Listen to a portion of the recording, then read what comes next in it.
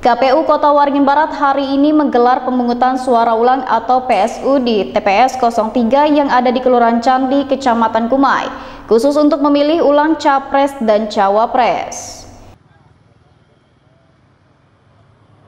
Ratusan warga Kelurahan Candi, Kecamatan Kumai, Kabupaten Kota Waringin Barat mendatangi tempat pemungutan suara ulang di TPS 03 Selasa 20 Februari 2024. Pelaksanaan pemilihan ulang yang dijadwalkan pada pukul 7 waktu Indonesia Barat sempat molor hingga pukul 7 lewat 45 waktu Indonesia Barat, lantaran ada saksi yang belum datang. Pelaksanaan PSU di Kelurahan Candi ini hanya satu surat suara, yaitu pemilihan presiden dan wakil presiden. Meski sempat terjadi keterlambatan, tampak sejumlah warga cukup antusias dan sabar menunggu. Dari jumlah daftar pilihan tetap di TPS 3 Kelurahan Candi itu sebanyak 290, untuk logistik pemilu KPU menyiapkan sebanyak 296 surat suara. Uh, pelaksanaan PSU hari ini uh, disebabkan oleh adanya 13 orang uh, yang bukan haknya ikut memilih di sini uh, dalam artian bahwa mereka menggunakan KTP di luar Kota Ringin Barat dan tidak menggunakan uh, kom pindah memilih. Uh, jadi temuan itu kemarin dilakukan oleh uh, pengawas TPS yang kemudian tidak lanjuti oleh Panwas merekomendasikan kepada uh, apa PPK Kecamatan Kumai untuk melaksanakan PSU.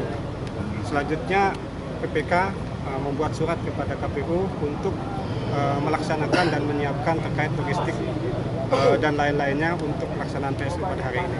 Begitu mekanisme yang dilakukan. Uh, kemudian sebagaimana sudah disampaikan oleh Pak Bupati tadi bahwa untuk DPT di Kelurahan Candi ini sebesar 290 290 pada saat kemarin untuk mencoblos uh, presiden itu sebanyak 257 ya.